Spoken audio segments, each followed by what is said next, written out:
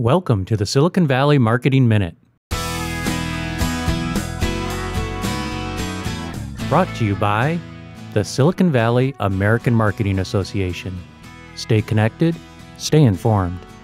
And Coreography, full service audio webinar and video webcast production. The following video is from a Silicon Valley American Marketing Association panel event.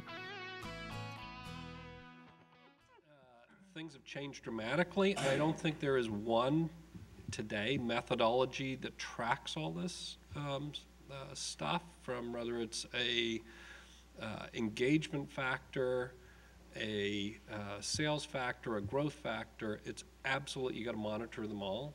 I mean, if I look at in the central organization, we have 15 people full-time that do nothing other than monitor social media.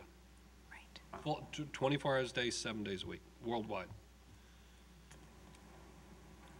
So I would answer that a little um, differently for our company. What we did was to do persona development, to make sure that we really understood who our target market was. And then as you develop those personas, and we ended up with about 17 different personas, um, and we actually put them into three uh, groups. We really looked at where are they. And I think it's a mistake if you just think social media, at least in, in the B2B that I'm in with a high-tech audience. They're in social media, but they're also in traditional media. They're online. Um, you can reach them so many different ways. So it's just really about figuring out who your target audience is, getting that persona down, understanding where they are, and going after them where they are. And that weeds out a heck of a lot.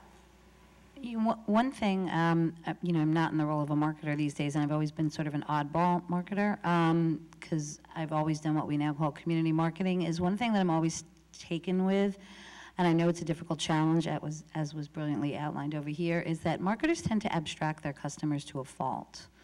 And I think what the Comcast Cares um, example shows that you can get a really far way by just treating them as, you know, we use words like authentic and transparent in relationship, but what does that really mean?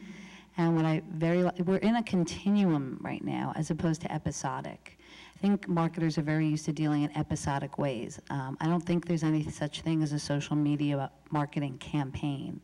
If you're in a relationship, it's going, it's a continuum. And I think that's the difficulty that marketers face, A, and B, um, the skill sets in the marketing organization and the silos and the way things are structured don't match up with the industry. So the example I'd like to give is if you're in a relationship with your customer, what unfortunately most marketers do is, you know, the equivalent of ignore me, ignore me, ignore me, flowers on Valentine's Day, ignore me, ignore me, ignore me, Super Bowl ad, you know. That's sort of the way. And I think it's a challenge because the marketing isn't usually staffed the way Harry just pointed out with 15 people listening and communicating back. It's very much a push. It's ads, not acts. And what I would have told J&J was to just have one blog post, if they had a blog at the time, and to say, I'm sorry. You know, you know, the good thing is if you're in a relationship, you can fight and make up. Um, that's the beauty of the dialogue. Everyone just sort of stops at the yelling part. And I think it's a really new set of muscles that marketers need to sort of build up.